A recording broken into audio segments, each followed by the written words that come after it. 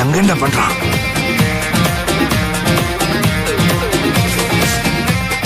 பிரச்சனை பெருசாயிட்டு இருக்கு. நீங்க நேர்ல வரணும்